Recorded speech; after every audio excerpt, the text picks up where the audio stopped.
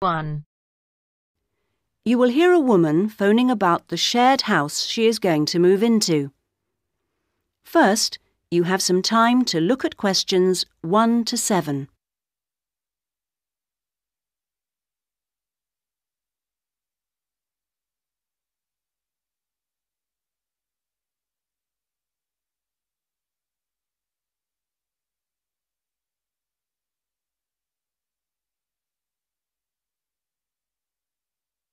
You should answer the questions as you listen because you will not hear the recording a second time. Listen carefully to the first part of the conversation and answer questions 1 to 7. Hello? Hello, this is Hilary. I'm calling about the house. I'm moving in next week. Oh, yes, Hilary. This is Judith. I met you when you came to look at the house. Yes, I just had a few more questions I wanted to ask. Of course. Well, first, about the rent. I realise I didn't check what it included. Yes, that's important. It includes most things. We don't have to pay extra for heating, for example, just for the telephone, which is fair enough, I suppose. Local taxes are part of the rent, so that's not a worry. That's fine. Then I remember I should have sent my letter of reference to the landlord by now, but I haven't got his address. Yes, you should get that off right away. Address it to Mr. Crawley. He's at 14 King Street. Is that in Exford? Yes. And then you'll need to put the postcode, of course. It's AP12 Mm-hmm. 7QT. Got that. Thanks. I also realise I don't know exactly what the house has in the way of equipment. Is there a microwave, for example? There isn't. None of us feels the need. Oh, fine. I'm sure I can do without one too. What about a hairdryer? Maybe you should bring one, if you need one. I'll buy one, yes. And TV? Oh, yes. We've got two, in fact. Was there anything else? I just wondered if there were any rules. Not really. We share the cleaning, things like that. We do have to be careful about loud music. Yes. So we've agreed that there shouldn't be any loud music after nine, and that we don't play music at all in the living room after ten. Up to eleven in your own room's okay, as long as it's not too noisy. That sounds good. And is there somewhere safe I can keep my bike? That's difficult. To be honest, lots do get stolen round here. We haven't got a garage, so we tend to park ours in the garden so that they're hidden from the street. OK. Now, I hope you like cooking. Yes, I do. Do you all have shared meals? Not very often, actually, but when the weather's good in the summer, we like to have a barbecue together, which we do each Wednesday. We tend to go out at weekends. Sounds fun. Before you hear the rest of the conversation, you have some time to look at questions 8 to 10.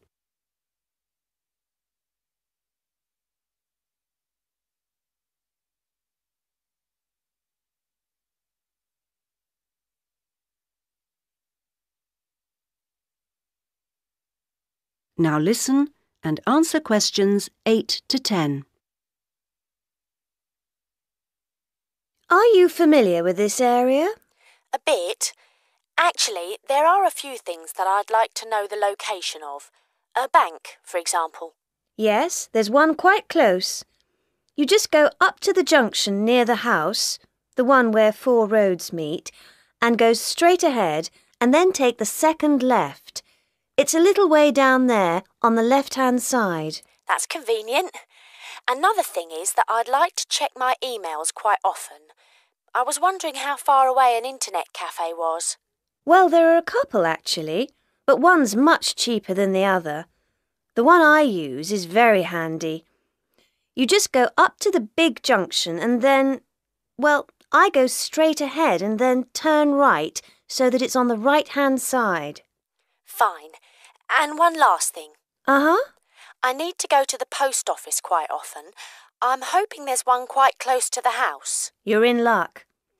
You'd walk up to the big junction and then If you want a nice route, take the street that's slightly to the right. Then you'd want the second left, and you'd find it on the right side of the street. Well, it all sounds great. So, we'll see you in a couple of days' time? Yes. OK. Bye. Bye. That is the end of part one. You now have half a minute to check your answers.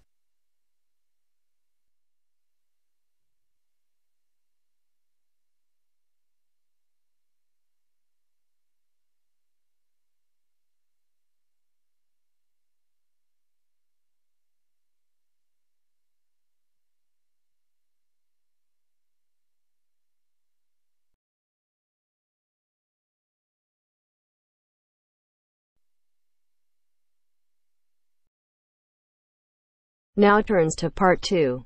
Part 2. You will hear a lecture on bird migration. First, you have some time to look at questions 11 to 17.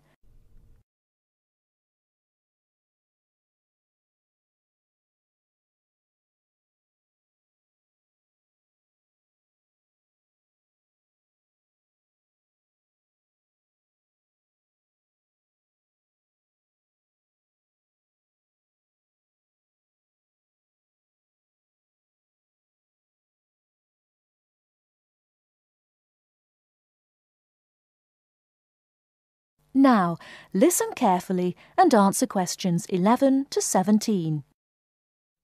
My lecture this evening will focus on the migration of birds. That is, how birds fly in big groups from different parts of the world at certain times of the year. In the first part of the lecture, I'll talk about the reasons why birds migrate, when they migrate, and which parts of the world they migrate from and to. To start with, why do birds migrate? Well, there are two main reasons. One, they migrate to look for food, and two, they travel to parts of the world that are more suitable for breeding. In fact, these reasons are closely linked. As you can imagine, when birds are breeding, they need extra food to feed their young. And in the spring, in the cooler climates of Europe, there is a lot of food for birds, especially insects.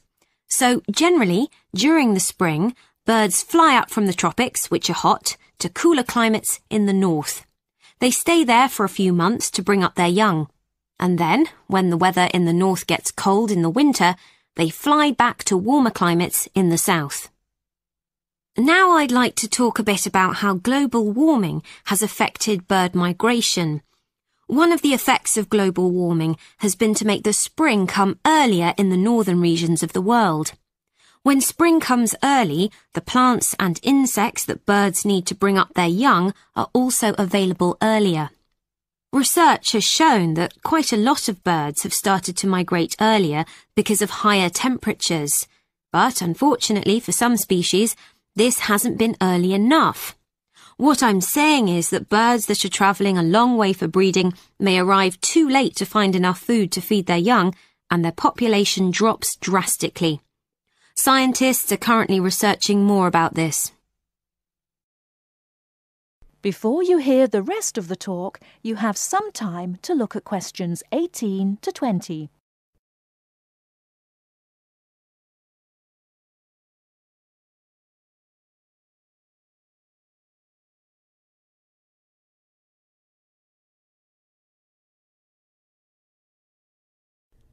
Now listen and answer questions 18 to 20. Now, I thought I'd finish by just briefly describing a few different patterns of migration. Uh, migration varies with the type of bird and the area they come from. For example, one kind of migration is partial migration. This means that some birds in a particular species will migrate and others won't. It usually depends on how the weather affects food supplies, and very often happens in the tropics. In another migratory pattern, a bird called an Arctic tern migrates the whole length of the globe from the North Pole to the South. The Arctic tern travels between 12 and 15,000 kilometres each way when it migrates in a complete circle around the world. It's quite amazing. Right, and lastly, I'd like to mention a pattern which isn't nearly as spectacular, but is very interesting. And this is the way many birds migrate across North America. In this pattern, the birds fly northwards in the west of the country and then back south again in the east. So if you imagine it, they're actually migrating in a circular pattern, like the hands of a clock, not in a straight line, as we might think. That is the end of part two. You now have half a minute to check your answers.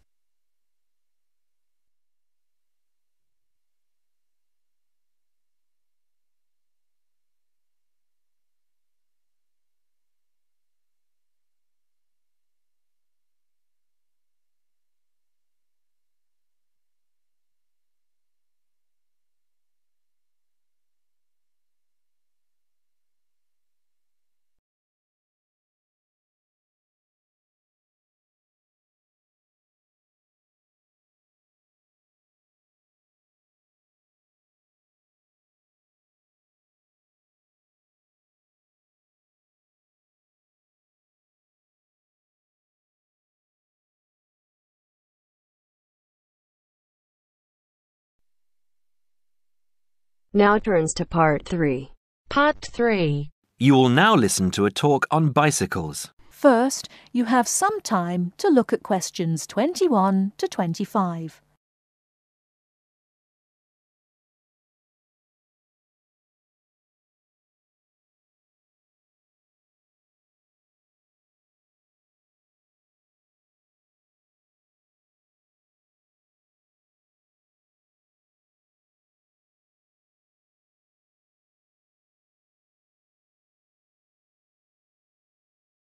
Now listen carefully and answer questions 21 to 25. Today, we're going to talk about the latest bikes for professionals and novices. There's something to suit everyone from price to function.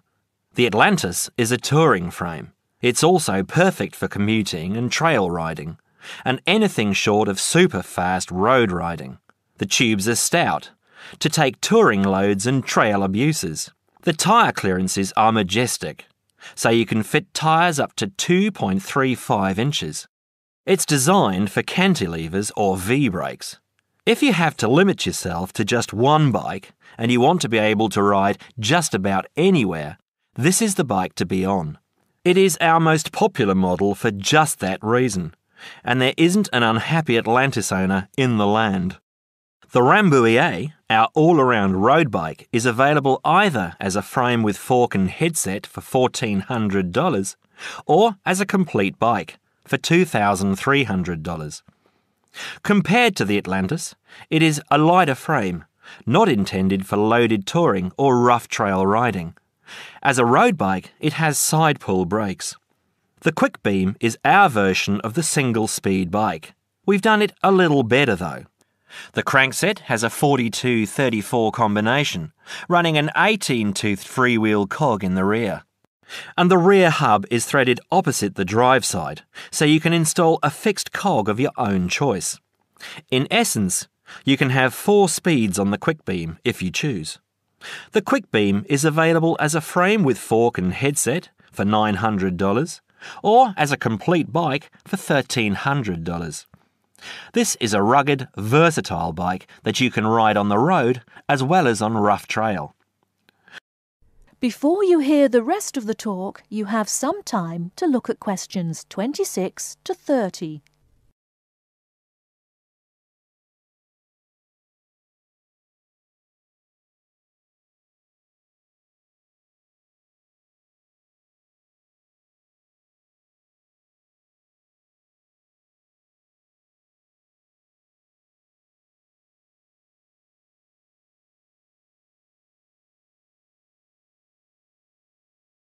Now listen and answer questions 26 to 30.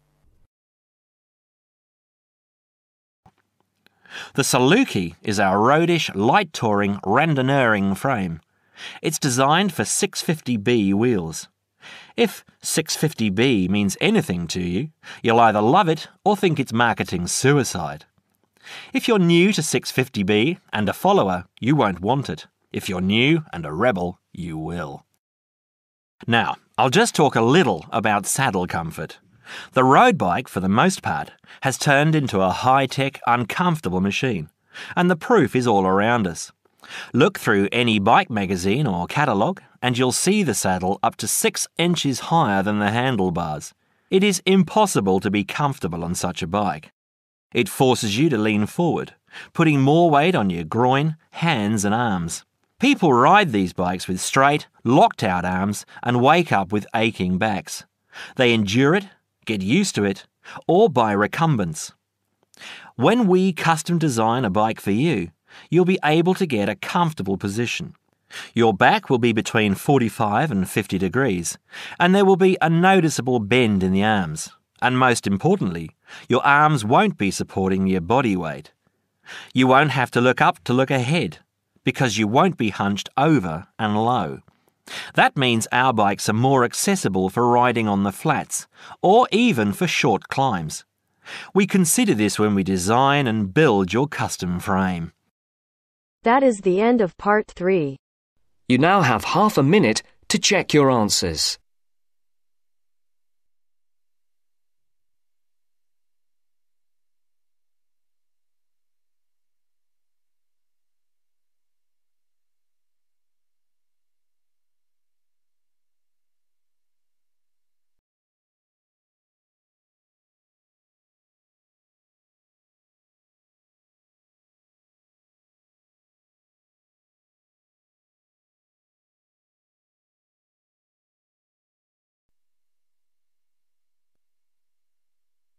Now turns to part 4. Part 4. You will hear a lecturer in education talking about some experiments done in the USA to investigate the effects of reducing class sizes. First, you have some time to look at questions 31 to 40 on pages 71 and 72.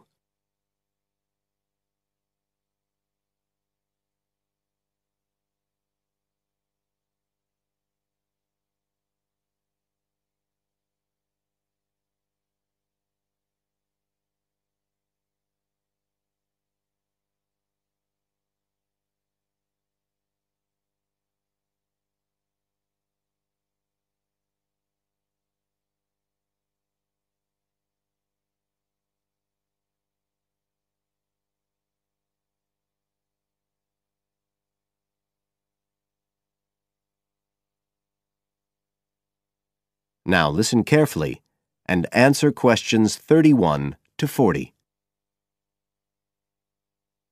All over the world, there are passionate arguments going on about how educational systems can be improved. And of all the ideas for improving education, few are as simple or attractive as reducing the number of pupils per teacher.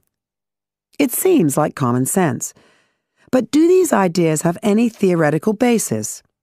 Today, I want to look at the situation in the USA and at some of the research that has been done here in America on the effects of reducing class sizes.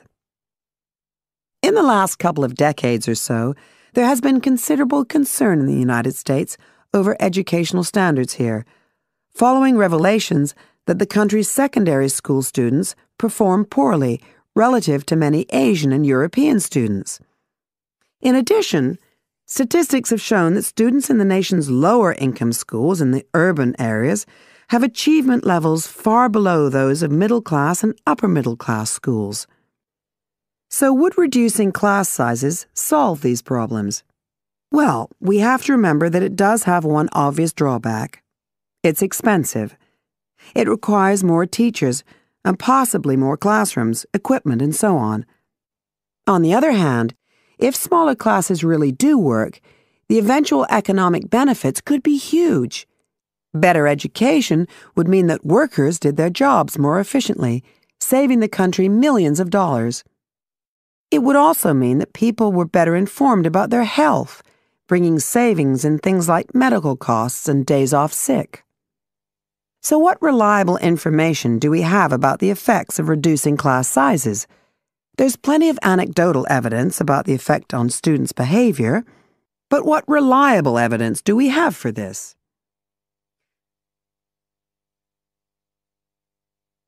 Let's have a look at three research projects that have been carried out in the USA in the last couple of decades or so. The first study I'm going to look at took place in the state of Tennessee in the late 1980s. It involved some 70 schools. In its first year, about 6,400 students were involved, and by the end of the study, four years later, the total number involved had grown to 12,000. What happened was that students entering kindergarten were randomly assigned to either small classes of 13 to 17 students or regular sized classes of 22 to 26. The students remained in whatever category they had been assigned to through the third grade, and then, after that, they joined a regular classroom. After the study ended in 1989, researchers conducted dozens of analyses of the data researchers agree that there was significant benefit for students in attending smaller classes, and it also appears that the beneficial effect was stronger for minority students. However, there's no agreement on the implications of this. We still don't know the answer to questions like how long students have to be in smaller classes to get a benefit, and how big that benefit is, for example. The second project was much larger and took place in California. Like the Tennessee study, it focused on students from kindergarten through to grade 3, but in this case, all schools throughout the state were involved. The experiment is still continuing, but results have been very inconclusive, with very little improvement noted. And the project has, in fact, also had several negative aspects. It meant an increased demand for teachers in almost all California districts. So the better paying districts got a lot of the best teachers, including a fair number that moved over from the poorer districts. And there were a lot of other problems with the project. For example, there weren't any effective procedures for evaluation. All in all, this project stands as a model of what not to do in a major research project. A third initiative took place in the state of Wisconsin at around the same time as the California project began. And it's interesting to compare the two.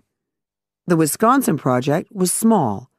Class sizes were reduced in just 14 schools, but it was noteworthy because it targeted schools at which a significant proportion of the students were from poor families, compared with California's one size fits all approach. Analysts have found that the results are very similar to the Tennessee project with students making gains that are statistically significant and that are considerably larger than those calculated for the California initiative. Now, I'd like to apply some of these ideas to the latest.